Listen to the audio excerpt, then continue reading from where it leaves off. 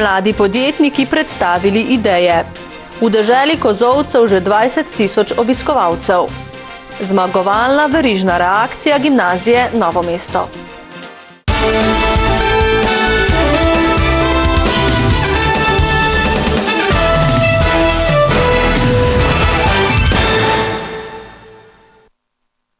Dober večer. Podjetniški inkubator Podbreznik nudi inovativnim posameznikom prostor in podporo, da uresničijo svojo poslovno zamisel in zaženejo lastno podjetje. Na današnjem srečanju Podbrezo se dogaja, so mladi bodoči podjetniki predstavili idejo, s katero stopajo na samostojno podjetniško pot. Od februarja letos je podjetniški inkubator Podbreznik prostor, kjer mladi razvijajo svoje podjetniške zamisli z namenom, da odprejo lastno podjetje in se zaposlijo.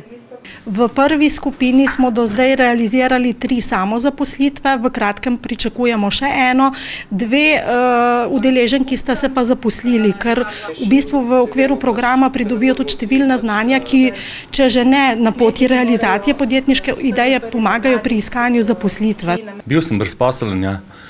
pa v bistvu je bila največja želja, uh, da bi nekaj delal sam. To, to je bil moj glavni razlog, da sem se odločil za to. No. Sodelovko bosta tako izdelovala naravno konopljino kozmetiko in prodajala konopljino olje. Prvi odzivi pa so dobri, podarja Sladič. Za vključitev v program, ki se bo nadaljeval v prihodnjem letu, se sicer zanima veliko mladih, pravijo v razvojnem centru, kjer so prepričani, da je to priložnost za mlade in seveda ohranjanje delovnih mest oziroma vzpostavljanje novih za mlade, tiste prve iskalce zaposlitev in za podjetnike, ki želijo iti svojo podjetniško pot in imajo pravo idejo. Projekt Podjetno v svet podjetništva, v sklopu katerega se od avgusta do decembra usposablja deset mladih, nosi pomembno sporočilo tistim brez zaposlitve, da si lahko delovno mesto ustvarijo z lastnim delom. Še drugi letošnji rebalans občinskih financ je znašel na mizah šmareških občinskih svetnikov. Ker gre, kot je bilo mogoče slišati strani občinske uprave, le za malenkostne spremembe, je predlog rebalansa na vkljub posamičnim ugovorom z osmimi glasovi podpore in nobenim proti gladko prešel občinsko proceduro. V primerjavi s poprej veljavnim proračunom so se za nekaj tisočakov povečali tako občinski prihodki, kakor odhodki. Kot pojasnjuje prva finančnica na občini Damjana Stopar, gre le za uskladitev občinskih financ načrtovano realizacijo do konca leta in pogodbenimi obveznostmi drugače pa nobenih bistvenih sprememb. Razen pri uh, hiši žive dediščine, to je obnova objekta stare šole v Beli cerkvi, s katerim smo se v mesecu oktobru prijavili tudi na razpis, da pridobimo nepovratna sredstva. Za naložbo, skupaj ocenjeno na več kot 1,2 milijona evrov, v primeru uspešne prijave pa naj bi bila nadomestna gradnja končana aprila 2015, so v rebalansu zaradi razpisa zagotovili malce več kot 220 tisoč evrov da lahko zadostimo pogojem, to se pravi, da smo mogli uvrstiti eh, projekt v posebni del in pa v načrt razvojnih programov. Drugač pa uh, uspešno črpamo nepovratna sredstva, vsa, uh, vsa investicije, ki so v teku, že aktivno črpamo, tako da tle smo dokaj uspešni. Do konca leta namerava občina sicer porabiti 3,4 milijona evrov, na občinski račun pa se bo skupaj steklo nekaj več kot 3 milijone evrov. Ostalo je presežek prihodkov nad odhodki preteklih let, zadolževanje ne predvidevamo tako v letu 2013 kot v letu 2014. Do konca leta bo občina v skladu z načrti počrpala nekaj manj kot 280 tisočakov nepovratnih evropskih sredstev. V Šentlovrenški šoli, podružnici osnovne šole Trebnje, te dni poteka temeljita energetska prenova, saj je bila zgradba že povsem dotrajana. Njihovih 24 učencev je trenutno v prostorih Trebanske šole. Šola v Šentlovrencu je prva v Trebanski občini, ki jo bodo energetsko prenovili. Na tej šoli je zamenjena fasada, je zamenjena streha, eh, to se pravi tudi izoliran eh, podstrešje, potem menjali smo medij korilni in sicer je zdaj možnost peč eh, kombinirana na sekance ali pelete. Bila je potrebna prenove, kar se tiče energije, zamenjali so okna, vrata, bil je tudi povečan odstotek radona. Z deli so začeli v začetku letošnjega šolskega leta. Sanje krajanov pa so, da nekoč ob šoli zaživi tudi vadbeni center za otroke in druge krajane.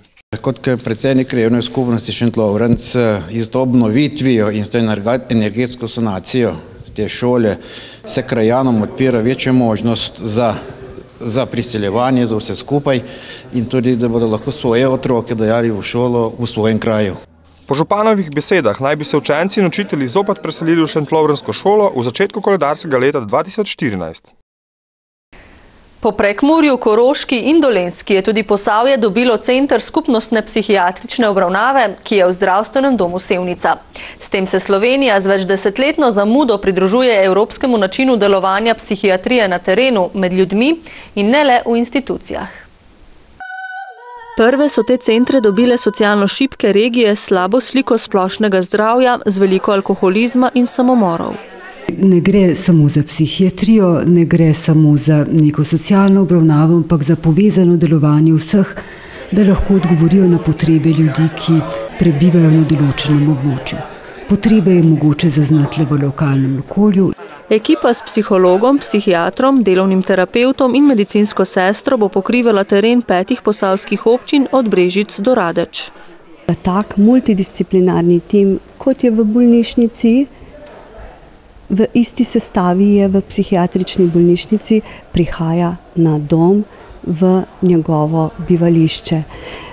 In tam se najbolj počutimo varni in to je ta deinstitucionalizacija. Ob centru skupnostne obravnave se v Sevniškem zdravstvenem domu veselijo tudi 141 tisoč evrov vrednega novega reševalnega vozila, za katerega je nekaj prispevalo tudi lokalno gospodarstvo. Če vam omenimo deželo kozovcev, prvi to vrsten muzej na prostem na svetu, potem gotovo veste, da bomo v naslednjem prispevku govorili o občini Šentrupert.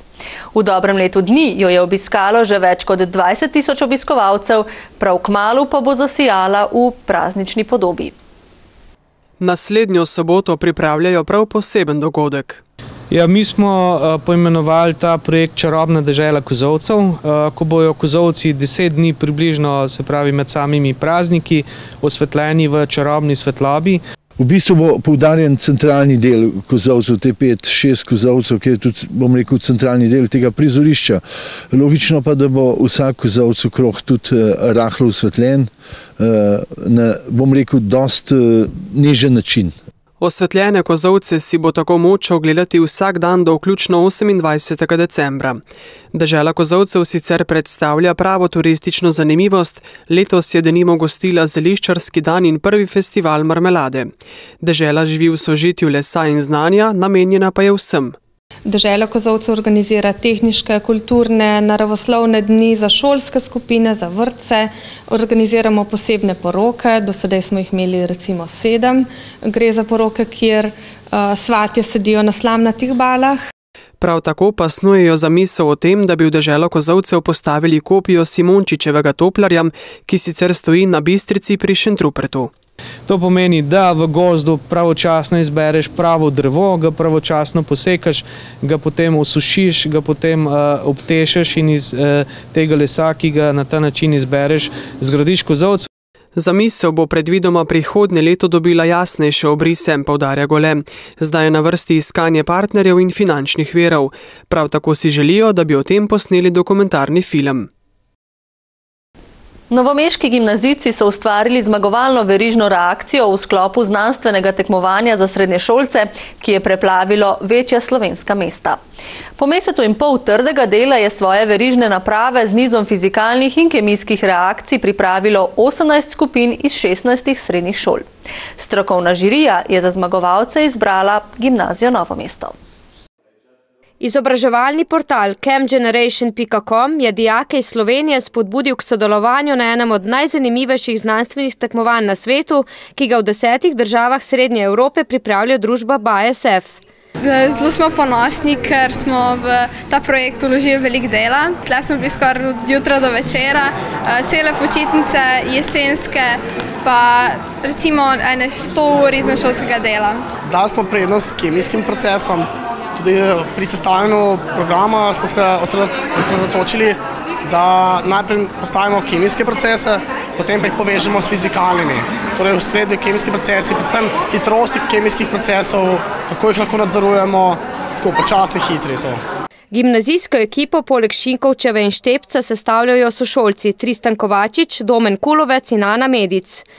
Kot povdarja njihova mentorica Branka Klemenčič, je bilo ustvarjanje verižne naprave interdisciplinarno delo dijakov in treh profesorjev. Poleg nje še profesorja informatike Simona Hočevarja in razredničarke Anita Nose. Namen tega projekta je popularizacija kemije, verjetno. In potem, kot izredno težkega predmeta, priljubiti otrokom, da vidijo, da to ni samo tisto, kar se piše, težke enačbe in računi in tako, ampak da so to lahko tudi neke zabavnejše zadeve. Nagrado zmagovalni ekipi 500 evrov je izročil generalni direktor podjetja BASF Slovenija Mihael Nam. Civilna zaščita v Brežiški občini je po pričevanju vseh upletenih strani zelo dobro urejena. Na srečanju v mestni hiši so se zahvalili pripadnikom civilne zaščite za predano delo ter pripravljenost za varstvo ljudi, živali, premoženja, kulturne dediščine ter okolja. Njihova pomoč je potrebna v primeru naravnih in drugih nesreč. To vrstna srečanja pa so dobrodošla tudi za medsebojno spoznavanje med pripadniki in raznimi društvi civilne zaščite. To pomeni prenos znanja, kajti če se ljudje med sebojno ne poznajo, tudi ne morejo se prenašati znanja. Kajti škoda je, da društva, ki imajo veliko znanja, ne bi med sebojno si prenašali tega znanja. Zaston. Na spletni strani občine Brežice so detaljno predstavljene enote civilne zaščite. Civilna zaščita v Brežicah se tudi opremlja veliko bolj in boste videli, da imamo tudi nove uniforme. Tako da razlika je, kajti opazil sem, da civilne zaščite v drugih delih, v drugih občinah v Sloveniji delujejo v glavnem preko gasilskih zvez. Dejstvo je, da je občina velika, da je tudi zelo, ima kar veliko ogroženost. Prvo seveda vemo, da je poplavna, tista ogroženost, ki so zelo pogosto poplave. Poleg tega treba vedeti, da smo tudi v neposredni bližini nuklearne elektrarne. V občini se zavedajo pomena civilne zaščite in so veseli prostovoljcev, ki so se pripravljeni izobraževati in pomagati, če je to treba, dodaja Molan. Dedek Mraz, ki v teh dneh pripravlja darila, bo 28. decembra obdaril tudi od dve do pet let stare otroke v Črnomalski občini. A ne vseh, le tiste, katerih starši so izpolnili prijavnico oziroma tamkajšnjemu društvu prijateljev mladine posredovali naslov, na katerega jim bodo poslali vabilo. Zaradi varstva osebnih podatkov namreč na društvu, ki je organizator obdaritve, ne morejo dobiti seznama in naslovov otrok. Tako, zaradi varstva podatkov ne pridemo do naših otrok. Lani so izhajali iz leta poprej in pripravili 650 daril, vendar je prišlo manj otrok in jim je 180 paketov ostalo. Da se zgodba ne bi ponovila in da bi čim bolje izkoristili 5000 evrov, ki jih od občine dobijo za darila, so se odločili pozvati starše k prijavi in tako ugotoviti, koliko daril potrebujejo. Objava je bila v Belokrajncu, lahko da je kdo spregledal komod, ampak na internetu, v, v, v vseh vrtcih Črnomalske občine, komunala je na vseh oglasnih svojih panojih izstavila naše plakate. Vendar je očitno kar nekaj staršev spregledalo objavo, saj so dobili manj kot 400 prijav. Po njihovi oceni pa je v občini najmanj 650 otrok, starih od dveh do pet let. Najprej bojo dobili darila tisti, ki bojo prinesli seboj dopisnico. Če bo pa kaj ostalo, tako ali tako bomo razdelili. Ne? V Novomeškem društvu prijateljev mladine Mojca, kjer bodo v sedmih dolenskih občinah obdarili več kot 5000 otrok, nimajo tovrstnih težav. Damo tudi možnost, da če tisti dan otrok ne mora priti po darilo, da pride kakšen drug dan in ker smo tako fleksibilni, eh, nam poberejo čist vsa darila. Niti eno leto nam ne ostane nobeno darilo.